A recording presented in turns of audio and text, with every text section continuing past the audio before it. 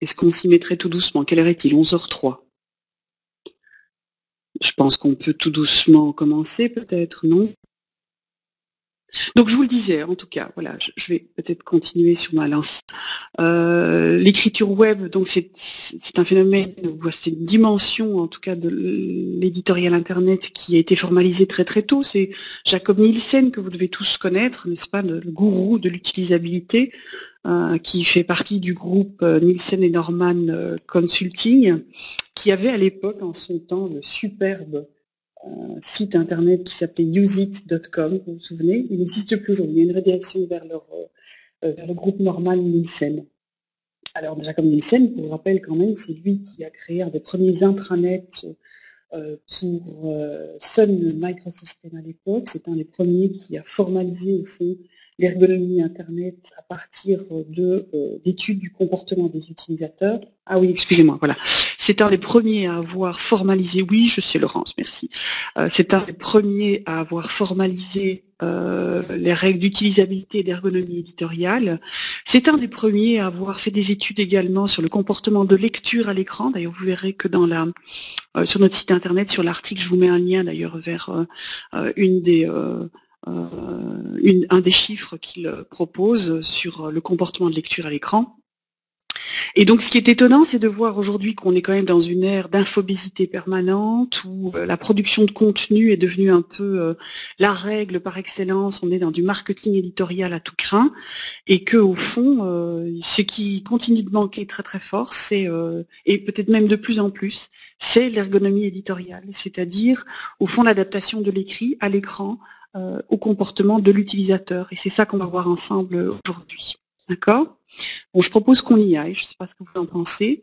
Vous avez 11h02 ici, entre-temps il est 11h05. Comme je sais en plus que j'ai tendance, moi, euh, à un petit peu, euh, un peu traîner en route, donc je vais y aller là. Parfait. Alors, on y va. Donc, juste pour ceux qui ne nous connaissent pas encore, on a quatre métiers chez We Are the World avec euh, un slogan, contenu, marketing.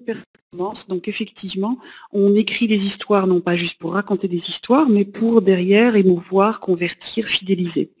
Donc, ça veut dire qu'on a dans nos métiers du conseil éditorial choisir les bons dispositifs, de la production de contenu sur mesure ou opportuniste, comme je dis parfois, c'est-à-dire euh, en fonction d'objectifs de vente ou en fonction euh, d'objectifs de visibilité particulière. L'animation éditoriale, donc on anime des blogs pour Lego, pour Fiscars, pour euh, ou tout 24, pour de gros annonceurs qui ont besoin effectivement de se visibiliser à travers des dispositifs éditoriaux et qui procurent de l'expérience à leurs utilisateurs, et puis la formation, comme maintenant, hein, évangéliser les bonnes pratiques.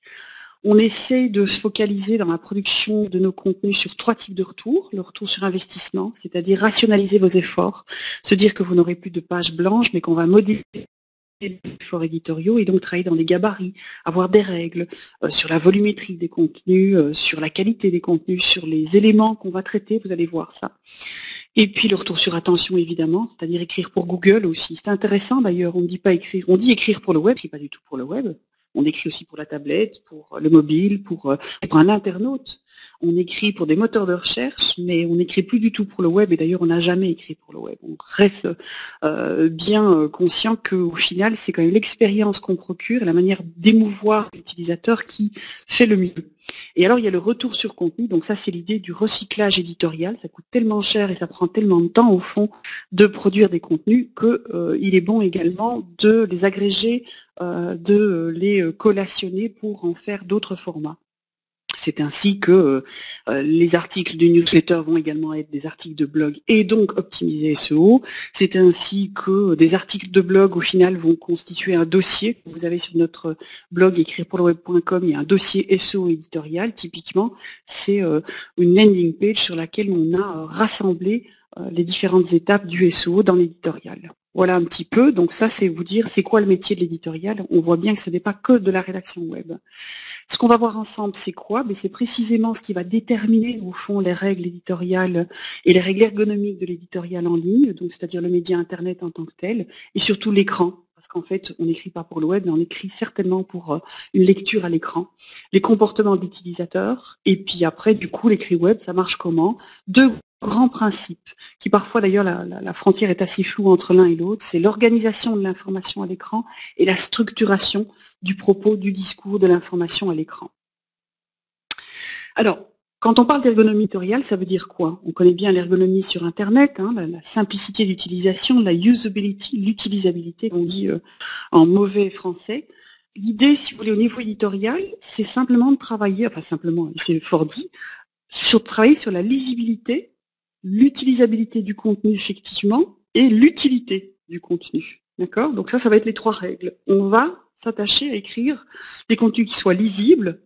Alors attention, la lisibilité, vous savez qu'en anglais, euh, il y a deux manières de dire la lisibilité. C'est legibility, c'est au niveau formel, une police de caractère qui est suffisamment grande, sur un fond clair et pas sur un fond sombre pour permettre un contraste.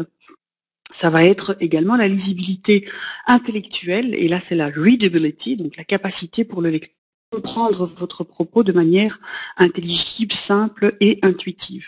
L'utilisabilité, c'est simplement l'accessibilité à l'information, c'est où se trouve l'information que je recherche. Et enfin, l'utilité, c'est de dire que derrière, effectivement, l'utilisateur repart avec quelque chose en main, il n'aura pas perdu son temps. Pour pouvoir déterminer ces niveaux de lisibilité, utilisabilité utilité, il faut pouvoir comprendre effectivement quelles audiences vous allez toucher, donc c'est la typologie de vos audiences, quels sont leurs besoins, et quels sont les comportements. Et donc on ne peut pas effectivement avoir d'a priori et de posture a priori, il faut à minima étudier les comportements des audiences et savoir ce qu'ils veulent et ce qu'ils font derrière. Autre aspect très important également, on va dire en fait qu'au niveau de lecture web, il va y avoir trois euh, dimensions, couches. Il y a la couche technique, ça va être la métadata, ça va être l'hyperlien, ça va être l'aspect fonctionnel, on va dire, de l'interface. Est-ce qu'on a accès à des onglets pour immédiatiser au niveau horizontal l'information plutôt que euh, de devoir travailler sur un trajet vertical? On va avoir le fond, c'est-à-dire les aspects vraiment rédactionnels là, euh, et c'est pas les règles formelles d'ailleurs, il y a une petite coquille, excusez-nous, c'est donc les règles vraiment d'écriture celles-là, c'est-à-dire dans le fond euh, la trouvabilité de l'information sur les mots-clés, la trouvabilité de l'information effectivement aussi sur les libellés, et donc on sera davantage dans du rédactionnel, le choix des mots et la manière effectivement dont on interagit. Euh, et enfin, les aspects formels, c'est la mise à l'écran, la publication des données, c'est-à-dire la lisibilité à l'écran, le fait que votre call to action ne soit pas en dessous de la ligne des flottaisons, mais au-dessus, qu'on répète to action sous le format d'un hyperlien également, pour les gens qui auraient tendance à pas apprécier ou à se craindre un peu les call to action, ou simplement, quand on est sur une newsletter, ben, c'est l'idée euh, ben, je suis désolée, Gilles. Est-ce que tout le monde a l'image? Je pense qu'on avait fait les tests et que normalement ça devrait fonctionner. Sinon, vous pouvez également, euh, voilà, vous pouvez également, Gilles, télécharger la présentation. Euh, Gilles doit racheter un PC. Euh, donc voilà, donc les aspects formels, c'est vraiment l'aspect, on va dire, de rendu. Vous verrez que c'est important également. Alors, ce qui va déterminer l'écriture web, je vous l'ai dit, c'est le comportement humain. D'accord? Donc c'est vraiment ça qu'on va voir d'abord. Un, la dématérialisation. Essayez de faire un sudoku euh, à l'écran, vous verrez que euh, ça vous prend beaucoup plus de temps que de le faire sur papier. D'accord? Sauf que, qu'est-ce qui va se passer? C'est quoi la valeur ajoutée du sudoku à l'écran? C'est que vous allez pouvoir avoir des indices, vous pouvez retenir des propositions. Donc, il y a une valeur ajoutée, effectivement, qu'on ne va pas avoir sur le papier. D'accord? Alors, sur l'écran, c'est quoi? L'écran, il est vertical. C'est pas un format, on va dire, traditionnel de lecture. En général, la lecture, elle est horizontale. On peut également s'approprier normalement le support, puisqu'on va rapprocher le livre, on va rapprocher le journal des yeux ou pas. Donc cette matérialisation est un des premiers éléments qui va faire que l'écriture web doit être adaptée. Et c'est là qu'on va devoir jouer sur la simplicité au fond du message. Autre chose, c'est qu'à cause de cette euh, dématérialisation, on a deux soucis pour l'utilisateur. D'une part, la désorientation et d'autre part, la surcharge cognitive. Pourquoi l'utilisateur est désorienté? Parce qu'il ne va pas se représenter euh, nécessairement les liens qui est en train de faire entre le but et l'arrivée. Euh, on appelle landing page une, page une page sur laquelle on atterrit. C'est vraiment l'idée où vous êtes dans un euh, avec votre parachute et vous arrivez dans un terrain où vous ne savez pas du tout où vous êtes. C'est le fameux vous êtes ici à la sortie des métros. C'est la désorientation due au fait qu'il vient de Google, il atterrit sur une page in the middle of nowhere et ne sait pas où il est. Il faut lui donner des éléments d'orientation. C'est ce qu'on appelle le wayfinding en anglais. Donc le wayfinding, vous savez, c'est euh, euh, cette euh, discipline très particulière qu'on va utiliser notamment dans les aéroports et les hôpitaux pour guider l'utilisateur. L'autre aspect qui est très important et qui nous incombe énormément à nous, rédacteurs, parce que la désorientation, c'est peut-être plus le boulot des architectes de l'information, quoique, c'est la surcharge cognitive. C'est pour ça qu'on dit faire des phrases courtes et être concis. C'est pas qu'il faut faire court sur Internet, c'est qu'il faut travailler sur le muscle éditorial pour que l'utilisateur derrière ne soit pas en permanence dans des métaphores, dans des suggestions, à attiser sa curiosité. Il faut essayer d'être sur la valeur utile plus que la valeur, valeur uniquement attrayante. Et donc l'idée ici, c'est quoi? C'est que l'internaute ne doit pas simplement lire un bouquin, il sait lire, il va lire et il n'a pas besoin de savoir comment fonctionne le bouquin autour. Tandis que des sites internet, encore trop souvent, parce qu'il y a un manque d'uniformisation ou qu'il y a une énorme créativité, on a tendance à devoir à la fois travailler sur l'utilisation de l'interface en plus de l'accès à l'information. Et du coup, il doit travailler sur deux plans comprendre et intégrer la mécanique de l'interface en plus de comprendre les messages qu'on lui euh, fournit. Autre aspect, quand même, c'est de se dire qu'on a 40 à 60% des individus qui portent des lunettes qui ont des problèmes de vue. Donc quand on est sur euh, du fond noir avec des lettres claires, quand on est sur des euh, polices qui ne sont pas suffisamment grandes, on aura un problème de lisibilité, d'accessibilité. Et puis aussi quand même 8 à 10% euh, d'une population daltonienne et donc faire attention aussi au mariage des couleurs et au mariage des nuances qu'on va utiliser. Autre aspect, toujours dans les comportements, le fait que l'internaute, intuitivement, par réflexe, donc c'est du pur réflexe et Pavlov, va avoir une appréhension progressive de l'information. Il va d'abord, c'est le côté surcharge cognitive dont je vous parlais, il va d'abord essayer de comprendre quelle est la mécanique de navigation. Il y a le header, il va pas évidemment décortiquer comme un poulet. Il va pas se dire il y a un header, il y a une navigation locale et puis il y a une zone de contenu, il y a le footer en bas. Il va par contre se dire quelle est l'information que je vais retrouver, où est-ce que je dois aller la chercher? En sachant en plus que vous avez toujours trois types d'accès à l'information sur un site Internet. La navigation, la recherche et le contenu. Normalement, toute votre information doit être accessible par ces trois moyens. La recherche, la navigation et le contenu. Il y a des gens qui vont davantage travailler sur la navigation et qui apprécient effectivement d'être guidés via des boutons, des menus. D'autres qui vont davantage être des lecteurs réels et donc s'approprier l'information en lisant les zones de contenu. Et enfin, les troisièmes, qui sont peut-être un peu plus les générations Y et autres euh, jeunes en quête de, euh, euh, de résultats rapides, qui auront tendance à plus solliciter la recherche. Mais on sait aussi tous les problèmes qu'on a au niveau des CMS quant à la recherche, et bien souvent, les résultats ne sont pas probants. Ça veut bien dire effectivement qu'il faut donner un accès à votre à vos contenus des trois manières possibles. Une fois qu'il aura compris la mécanique de l'interface, il va effectivement distinguer la typologie des contenus, c'est-à-dire les contenus navigationnels, les contenus bannières promotionnels et les contenus informationnels. Et ce n'est qu'à ce moment-là qu'il va s'adresser effectivement, on va dire, à la valeur informationnelle, au produit euh, qu'il y a derrière, c'est-à-dire au message et au sens. Ça, c'est un aspect. L'autre aspect, les deux études qui ont sans doute été les plus déterminantes pour formaliser euh, la rédaction web, l'étude Pointer d'un côté et l'étude Nielsen de l'autre. L'étude Pointer, qu'est-ce qu'elle raconte? Vous prenez 600 à 1200, je ne sais plus combien d'individus ont été euh, testés là. Vous leur mettez des lunettes laser, hein, c'est le eye tracking sur les yeux, et vous leur dites on va vous exposer à une interface web et vous allez nous trouver sur cette interface web les euh, pages qui vont parler par exemple, je ne sais pas moi, des euh, schtroumpfs à lunettes. L'écran s'allume, on a nos euh, utilisateurs devant l'écran, qu'est-ce qu'ils vont faire? Donc on va suivre le trajet leur regard sur l'écran, c'est de nouveau du réflexe, hein, c'est pas volontaire, hein. donc c'est purement, on va dire, neurologique et purement intuitif. c'est du scanning. On commence toujours par la zone en haut, d'accord, près du logo, dans nos cultures à nous, puisqu'on lit de gauche à droite dans nos cultures. Après ça, il va y avoir un court passage sur la navigation si navigation IA. Vous aurez remarqué que c'est carrément du butinage et du random scanning, donc il n'y a pas du tout une procédure linéaire du début jusqu'à la fin. Et enfin, on va aller vers le bas de l'interface de la page. Si on ne retrouve pas l'information qui a été sollicitée, on va aller chercher dans la recherche qui aura tendance à devoir se retrouver en haut à droite. Donc là, ici, c'est une manière de formaliser le comportement de l'utilisateur qui arrive sur une interface qu'il ne connaît pas.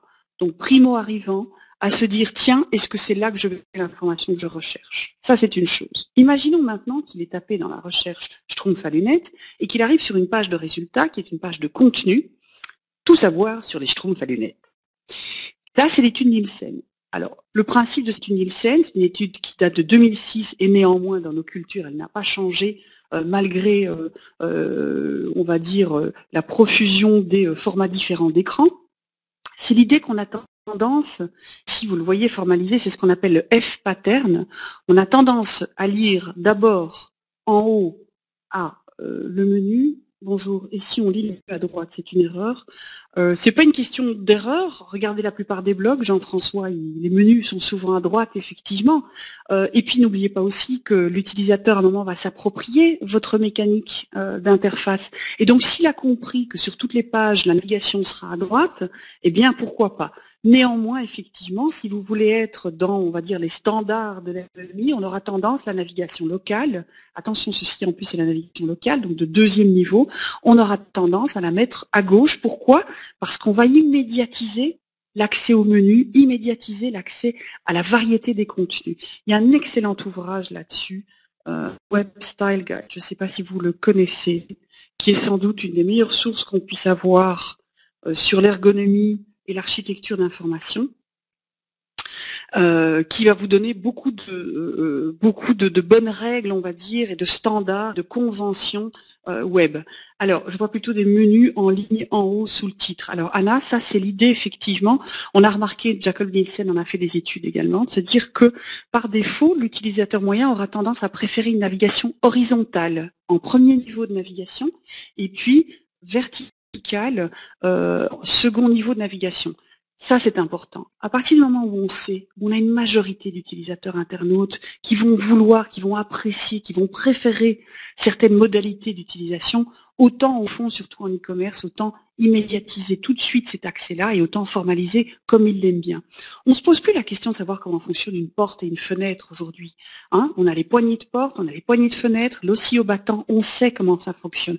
On ne se pose plus de question de savoir comment fonctionne un téléphone fixe, d'accord, avec les cadrans, avec les. Et donc, il faudrait un moment effectivement pouvoir surfer aussi sur les conventions, les standards web pour euh, faciliter euh, ce type d'utilisation également. Je reviens donc à mon schéma de l'étude Nielsen, parce que celle-ci est vraiment essentielle pour moi. C'est ce qui va déterminer la plupart de votre, euh, de votre éditorial et de votre rédactionnel web. Regardez, l'utilisateur a tendance à également, d'abord, c'est logique puisque c'était déjà une règle en haut, se focaliser sur la zone supérieure gauche de l'écran. Le plus important ici, c'est quoi?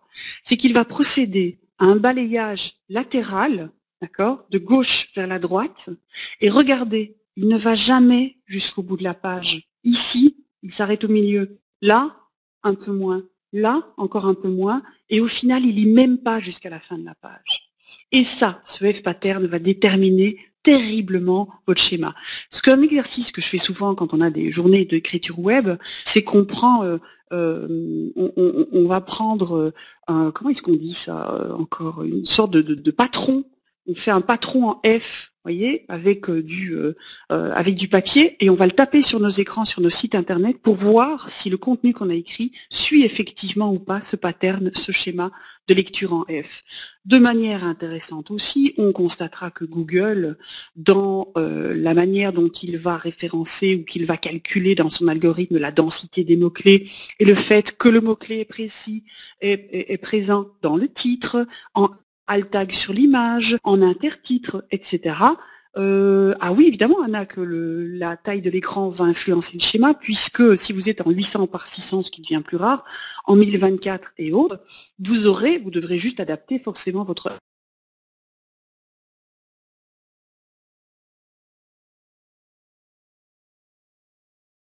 F-pattern. On va simplement adapter la F. Allez voir sur Nielsen Group, ils ont fait euh, également de très bonnes études là-dessus. Mais dans les deux cas, on a également ce F pattern. Sauf qu'on sera peut-être plus dans du, euh, en tout cas sur la tablette, dans de l'horizontal. Il suffit de regarder les nouveaux sites et interfaces, comment ils sont construits. Autre chose très importante au niveau comportement, qui va de l'écriture, c'est le déficit d'attention qui ne cesse euh, de diminuer d'année en année. Si vous regardez un petit peu, Hein, le taux de rétention sur une page euh, ou sur un produit informationnel en 2000 était de 12 secondes. En 2000, il est de 8 secondes. On a perdu 4 secondes. Et si vous regardez ici, Internet Browsing Statistics, euh, donc ça c'est une étude, vous l'avez le lien ici. Hein, l'étude, elle date de 2013, là, euh, juin, je pense. donc elle est assez récente. Donc pourcentage de pages vues qui durent moins de 4 secondes, 17%. Plus de 10 minutes, 4%. Pourcentage de mots lus sur une page qui font environ 11 mots, 49%. Pourcentage de mots euh, qui sont lus sur une page de 593 euh, mots, 28%. Autant se dire aussi d'ailleurs que ça nous donne une indication sur le calibre qu'on va donner à nos pages Internet.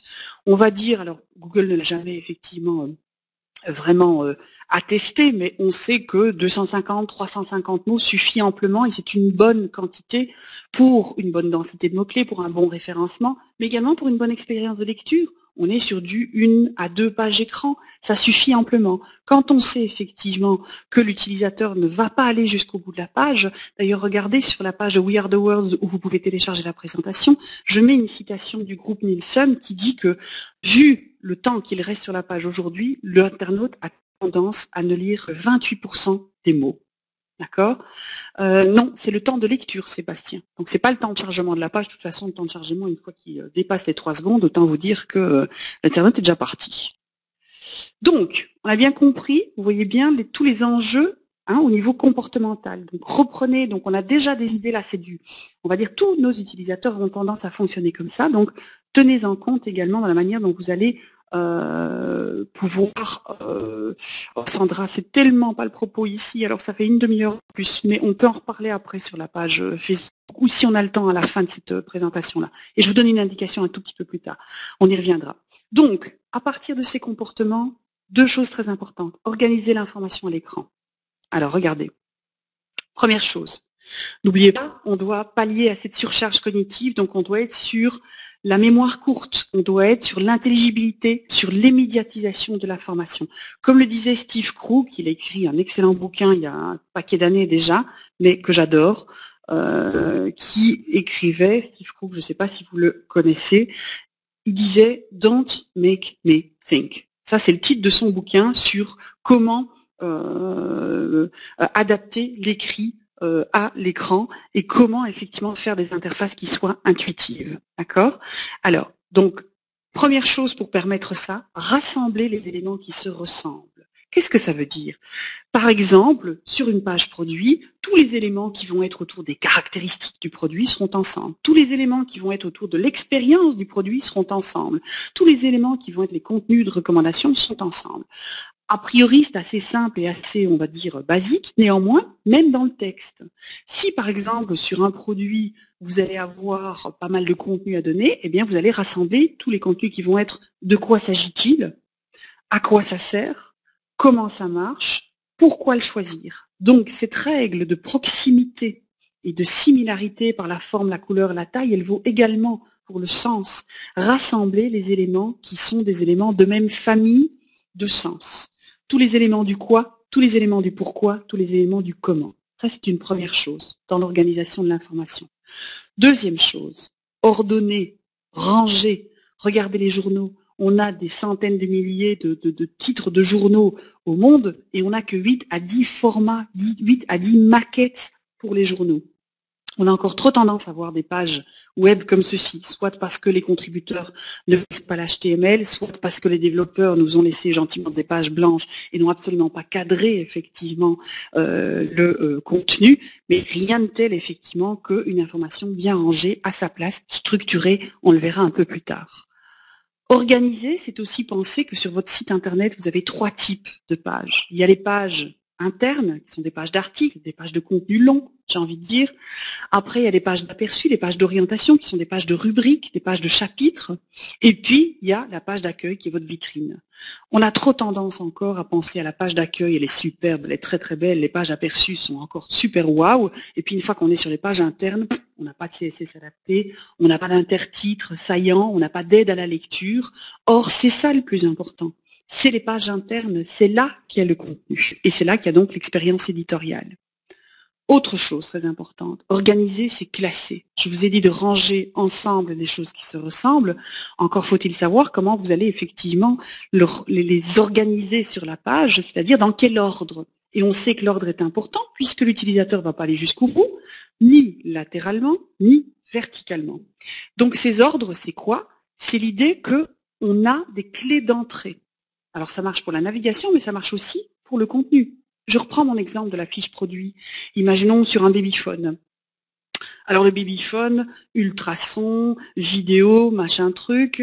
Donc c'est le 1, de quoi s'agit-il? 2, à qui ça s'adresse? 3, comment ça marche? 4, pourquoi utiliser le babyphone ultrason, vidéo, etc l'ordre dans lequel vous allez mettre vos informations. Est-ce qu'on va d'abord dire le à qui ça s'adresse ou le de quoi s'agit-il? Est-ce qu'on va d'abord dire le pourquoi ou est-ce qu'on va d'abord dire le comment?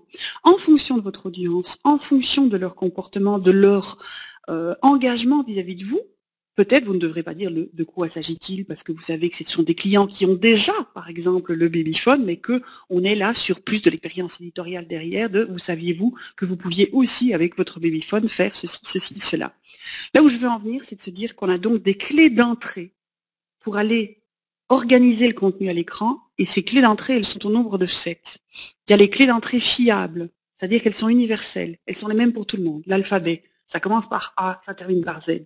Chronologie. Hier, c'était avant aujourd'hui et demain, c'est après aujourd'hui. C'est la même chose pour tout le monde. La géographie, même si on a un très mauvais sens de l'orientation, le nord est au nord, le sud est au sud. Ça vaut pour tout le monde.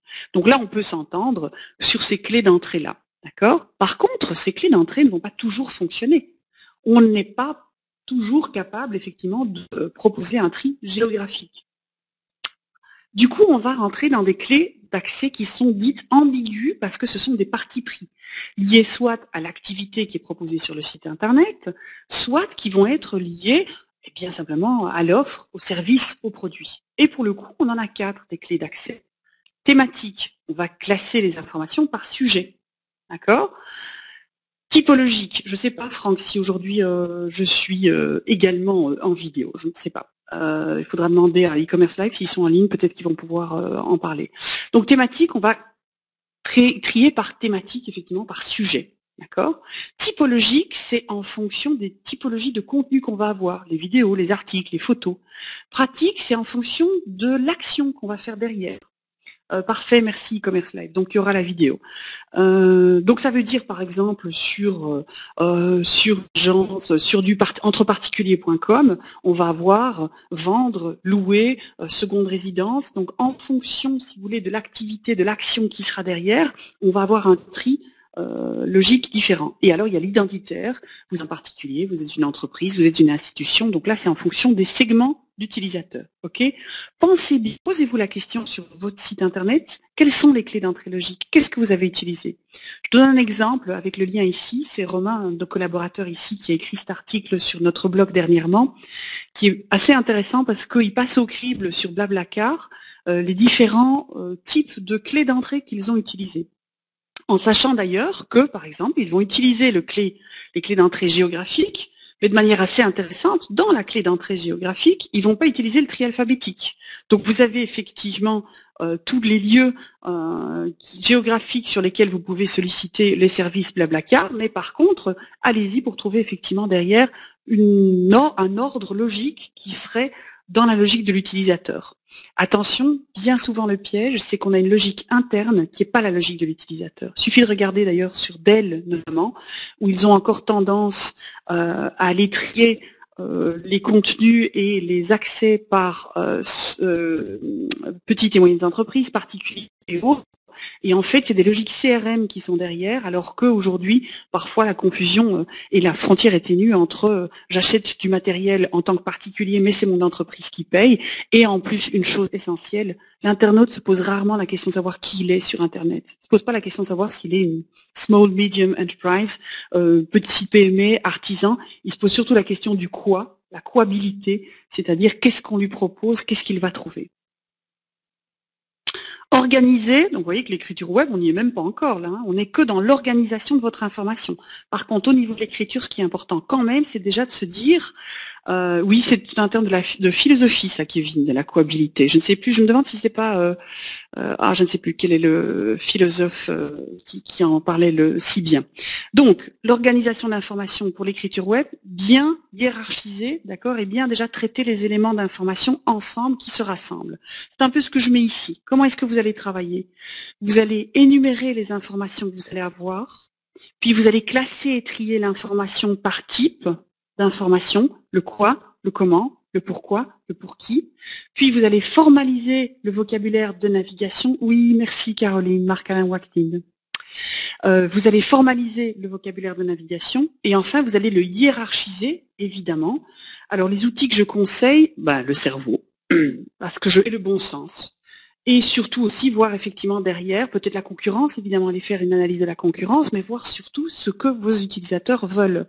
Euh, rien de tel que des utilisateurs, l'arborescence, le tri de cartes va aider, mais le problème du tri de cartes, c'est qu'il ne va pas euh, euh, vous permettre au fond de formaliser que vous avez choisi le bon, la bonne hiérarchie. Après, il y a un truc quand même, mais je ne sais pas si j'ai pas un peu honte de le dire, j'ai un truc effectivement qui, qui, est assez intéressant, ça s'appelle la taxonomie, et on en revient encore à, notre philosophie.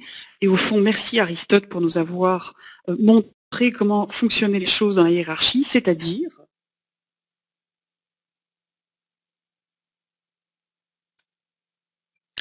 animal, poisson, truite. C'est mon petit outil pour savoir effectivement où est-ce que je dois, dans quel ordre je dois trier les choses. Qu'est-ce que ça veut dire? Ça veut dire qu'en fait, si vous prenez tous les éléments de contenu et tous les éléments de sens, il y a un ordre dans lequel il faut les mettre. Alors est-ce que cet ordre, est-ce qu'on est au niveau de animal, nos services, architecture de l'information, production de contenu, formation Formation, est-ce que c'est au premier niveau? Nos services ou est-ce que c'est en dessous? Est-ce que la formation est un de nos services? Est-ce qu'on est au niveau animal, on est au niveau poisson ou au niveau truite? Donc ça, c'est un petit outil qui ne paie pas de mine. Vous aurez remarqué, c'est quand même très très prosaïque. Mais néanmoins, de refaire une arborescence comme vous l'avez un peu ici et de relier les choses de manière hiérarchique, bien souvent, va vous permettre de structurer, d'organiser l'information à l'écran. Pourquoi c'est nécessaire? Parce qu'on a cette fameuse ligne de flottaison, qu'on sait que si nos utilisateurs auront tendance à ne lire que 28% de notre contenu, ce sera vraisemblablement en dessous, au-dessus pardon, de cette ligne de flottaison, et que dès lors, on va avoir effectivement l'obligation d'adapter, si vous voulez, notre contenu à cette ligne de flottaison et de mettre un paquet au-dessus. C'est le quatrième de couverture de votre, euh, de, votre site internet, si vous voulez. Hein. C'est ce qu'on appelle au fond, la partie au-dessus, c'est le micro-contenu d'appel. D'accord? Donc ça, c'est très important. Il va falloir soigner nos micro-contenus, les titres, les chapeaux, ce qu'on appelle également le péritexte. Organiser, c'est également formaliser, de grâce, demander à vos développeurs de vous faire une belle CSS où on aurait, alors là vous avez la checklist, je ne vais pas y passer parce qu'il est déjà, ben voilà, il est déjà 11h35, c'est insupportable. Donc ici où on a les titres de 3 à 4 niveaux, etc. Donc c'est l'idée effectivement d'avoir une bonne, regardez comme c'est beau, comme c'est propre, comme c'est lisible, comme c'est saillant. D'accord? Alors, ensuite, structurez votre propos. Deux aspects. Je vous parlais du euh, mais super, est-ce que c'est ce qu'il faut faire pour le web? Oui, tout à fait, Olivier. On est dans la même chose. Souvenez-vous, vous avez un taux de rétention très très limité sur la page. Il faut hiérarchiser, donner le plus important d'abord, le moins important après. C'est ce qu'on va voir maintenant. C'est l'idée, vous voyez, on a la pyramide inversée. Les aspects les plus importants le, le, micro-contenu d'appel, c'est-à-dire, on va dire, le, le snack, hein, le, byte snack en haut, le teaser, c'est votre, euh, c'est la bande-annonce d'un nouveau film, c'est euh, la plage euh, du nouveau disque de Eddie Mitchell, c'est c'est le quatrième de couverture sur un bouquin. C'est votre micro-contenu qui va faire que votre utilisateur voudra ou ne voudra pas continuer la lecture. D'accord? N'oubliez pas, on va se, ah bonjour Matipa, on va se retrouver ici où euh, votre utilisateur va d'abord lire ça. S'il est convaincu et qu'il a déjà un élément de réponse dans ce micro-contenu, il ira plus loin. D'accord? S'il a trop, tout de suite, il ira pas. Et alors on terminera toujours par de l'incitant à l'action, évidemment, puisque on est sur un média interactif. Il faut donner la possibilité à l'utilisateur d'interagir, de faire quelque chose, de s'approprier effectivement le contenu. Alors regardez ce que ça donne. Ça aussi, autre exercice. Mettez sur vos écrans de vos pages à vous, de vos pages e-commerce, le F, mettez après la pyramide inversée, regardez si vous avez bien parlé du plus important en haut et du moins important en bas. Je vous donne le meilleur exemple. Quand on organise un événement, une conférence et qu'on invite à la conférence, on a tendance à dire l'année dernière ou la semaine dernière, la conférence a super bien marché, on a mangé tous les petits fours, la sangria est partie en une demi-heure. Plutôt que de dire cette année-ci, ou cette semaine-ci, le thème est l'écriture web. On vous montrera comment l'écriture web va contribuer à la conversion. Et après, pour on va dire, attiser l'intérêt de l'utilisateur, aller dire, et pour conforter l'utilisateur dans le fait de s'inscrire, on va dire, vous savez, euh, la semaine dernière ou euh, l'année dernière, euh, ça a super bien marché, la formation. donc très important la pyramide inversée. Alors, qu'est-ce que ça veut dire? On retrouve le F-pattern, vous voyez, ça vient du Web Style Guide. Une page, un sujet. On ne traite effectivement qu'une seule idée ou un seul sujet, un concept, une action par euh, page, on va hiérarchiser l'information, on commence par la conclusion et puis on mettra le contexte et on met des liens reliés, typiquement donc dans une euh, hiérarchie. On va commencer par l'essentiel, on va développer ensuite les causalités et les circonstances. D'accord? On va guider l'utilisateur. Super intéressante cette petite checklist. Je l'ai encore testée là en formation la semaine dernière avec euh, des clients. On a repris à partir de ce que je viens de vous dire on a, oui, commencé par la conclusion. Je vais donner un petit exemple, Anthony. Dans le monde réel, on a tous appris, il était une fois, au fin fond d'un pays, pays magique, dans une forêt impressionnante, une petite fille qui s'appelait Chaperon Rouge. Ok? Alors vous connaissez tous l'histoire, mais vous imaginez que sur le Internet, on contextualise et qu'on dise il était une fois euh, un annonceur super brillant qui a eu une super idée de vendre des schtroumpfs à lunettes en impression 3D à tout le monde, etc., etc. Non. Le principe de l'écriture journalistique, effectivement, le principe de l'écriture web, c'est de d'abord dire un chasseur qui passait par là a entendu des cris, il est entré dans la maison, il a éventré le loup, il a sorti sa mère, il a sorti chaperon rouge, tout le monde est sauf, sain et sauf, et après on dira Chaperon rouge qui passait par là venait donner du lait et du pain à sa grand-mère. Le loup est arrivé, à manger la grand-mère. La chaperon rouge s'est fait avoir. By the way, elle s'appelle chaperon rouge parce qu'elle avait un chaperon rouge. Donc c'est l'idée, si vous voulez, que la. Alors pourquoi est-ce que je parle de conclusion? Parce qu'on a généralement, naturel, on, a tendance à d'abord contextualiser notre propos, à étayer par des arguments, avant de donner effectivement l'ultime euh, unique selling proposition, unique value proposition. D'accord? Oui, Laetitia, ce sera possible. Apparemment, euh, e-commerce life l'enregistre. Donc, cette petite checklist très importante, les amis, faites l'exercice sur vos pages. À partir des pages, vous lisez les pages que vous avez écrites. Quel est l'objectif de la page? Est-ce que les gens le voient? Est-ce que est-ce que c'est il y a un hyperlien qui montre effectivement qui étaye que c'est l'objectif? Pourquoi vos cibles vont venir sur cette page-là? Quel est votre propos, quelle est votre, euh, euh, votre intention et quelle est au fond la valeur ajoutée de cette page? D'accord? Quelles sont les questions types de votre utilisateur? Faites le, le, le, test, vous allez voir, c'est assez euh, intéressant. Autre aspect très important, on est ici dans la conversion, on est dans l'e-commerce. N'oubliez pas, je vous ai montré le trajet de lecture progressive de l'information. Vous vous souvenez des trois écrans là qu'on avait montré tout au début? Il y a une autre manière de le formaliser dans la conversion, c'est attention ou awareness, interest, desire, action. C'est comme ça, effectivement, que vous allez devoir travailler votre euh, éditorial et vos pages web. Attention, c'est le titre. Interest, le chapeau. Desire, le corps de texte et l'argument. Action, le call to action, évidemment.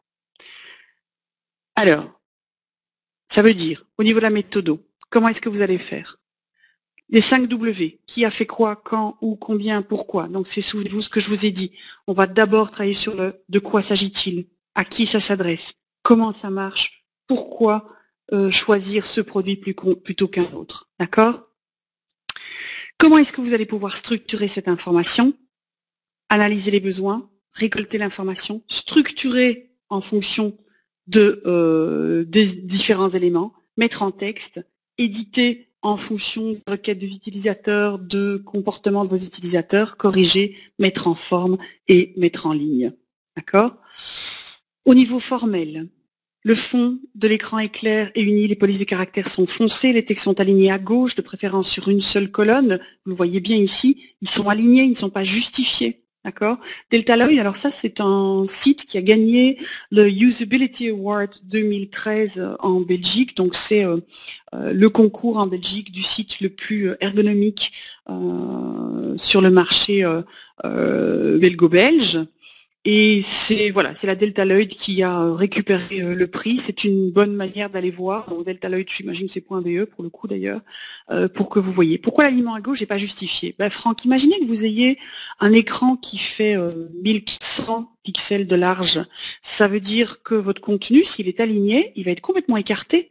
Et donc, si vous voulez, il va devoir effectivement être étiré sur la colonne et donc, ça veut dire que l'œil, quand on voit le F-pattern, vous vous souvenez le F-pattern Si on ne va pas jusqu'au bout de la ligne, on ne voit pas pourquoi on doit aller mettre le texte jusqu'au bout de la ligne à droite alors que l'œil n'ira pas jusqu'au bout de la ligne.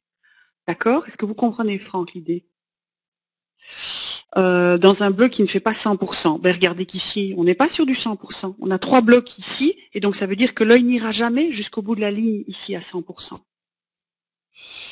Euh, alors, c'est même pas une question de on trouve ou on ne trouve pas, c'est une question simplement, souvenez-vous du F-pattern, si l'utilisateur ne va pas jusqu'au bout de la ligne, à quoi ça sert d'aller taper le texte jusqu'au bout de la ligne?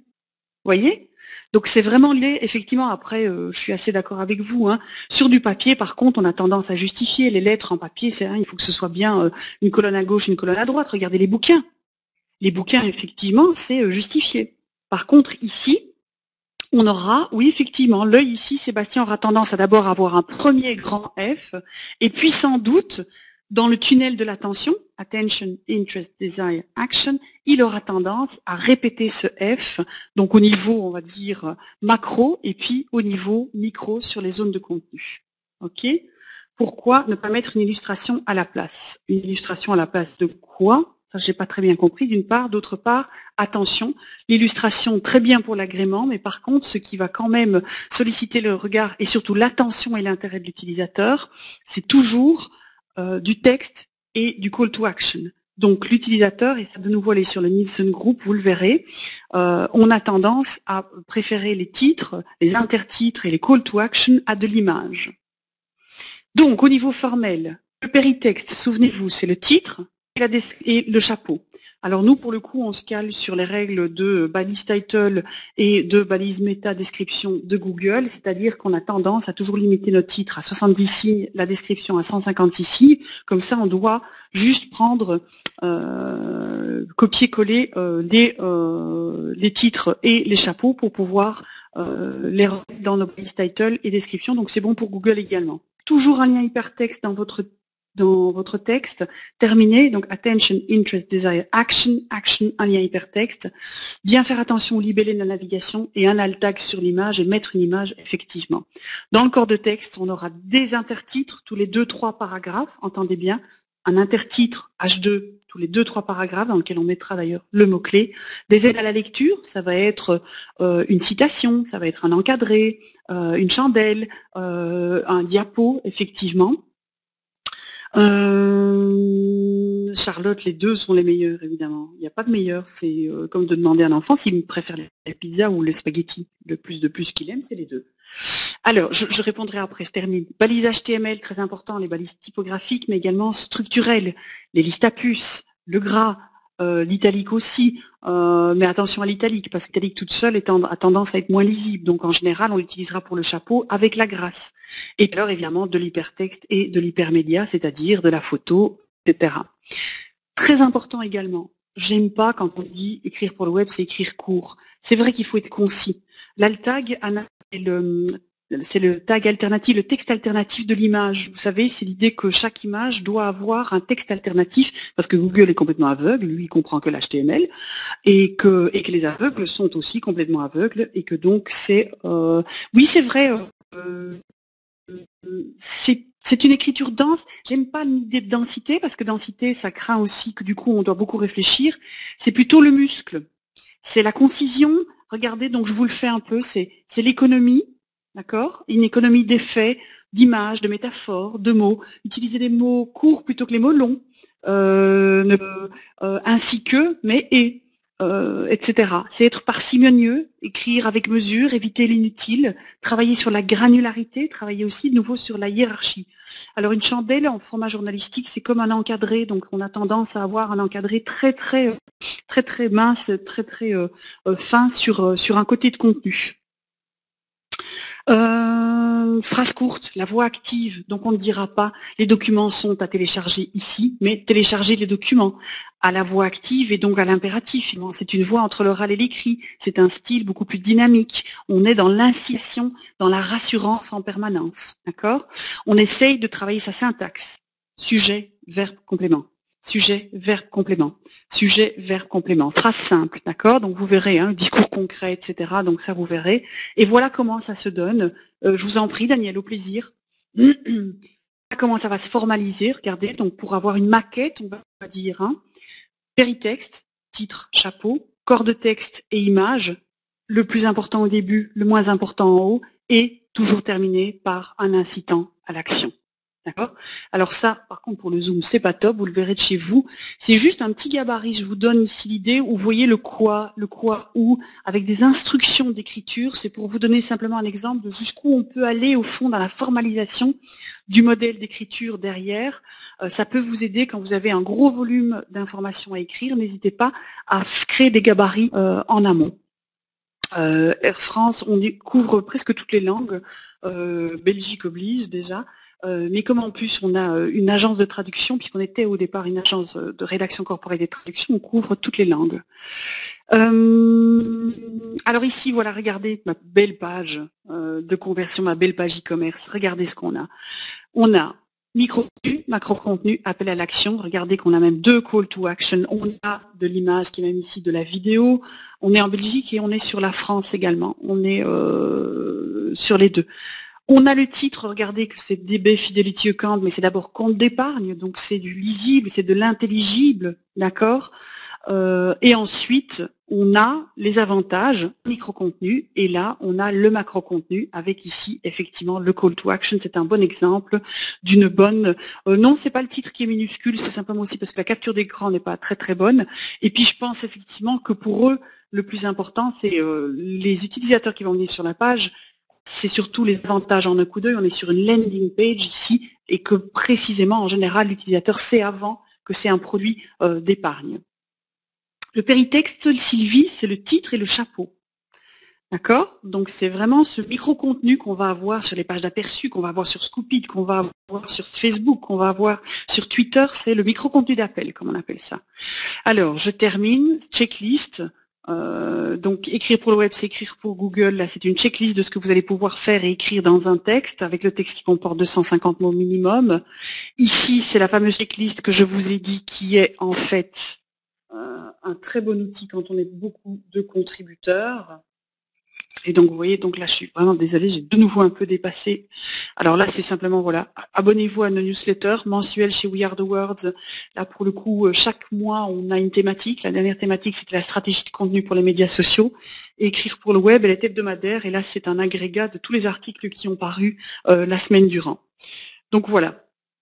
vous avez vu, vous avez toutes les règles. Vous téléchargez la présentation et vous vous y mettez, euh, prêchons pour une meilleure qualité éditoriale, une meilleure lisibilité. Donc euh, 11h25, 11h45, 11h51. Là, j'imagine que je suis à l'arrache, donc je vous laisse tous. Alors, on est sur 450 euros à Bruxelles sur ces formations, et il faut aller voir sur notre site internet sur les formations.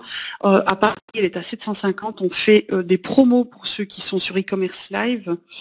Euh, et on fait également euh, des tarifs pour les artisans et les PME. Voilà.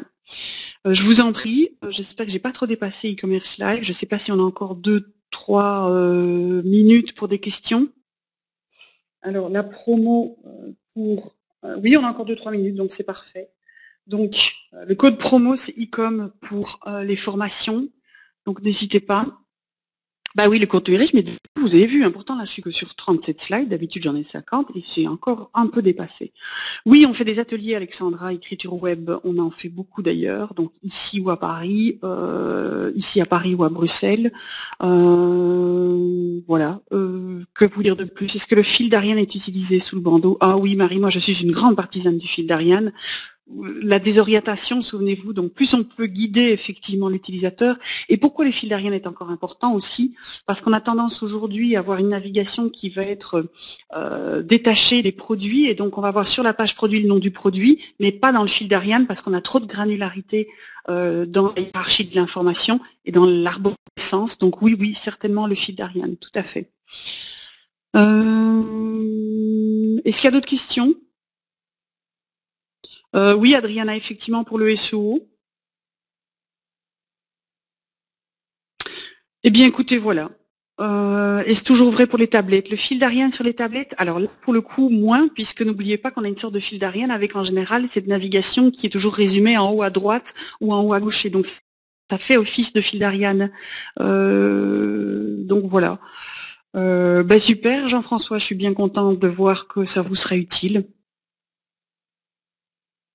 Ah, Ingrid, très intéressant. Alors, en arabe, par exemple, le F pattern, vous allez l'inverser, évidemment. Et puis, dans les langues asiatiques, où on est dans une lecture verticale, allez voir certains euh, sites, d'ailleurs, vous aurez remarqué qu'en termes de navigation, on est plus ou moins pareil. Donc, horizon au premier niveau et local euh, sur le niveau vertical. Par contre, effectivement, on aura du coup un pattern, vous allez basculer le F en fonction d'une lecture, on va dire, euh, et du, tracé de lecture, on va dire, naturel de la population.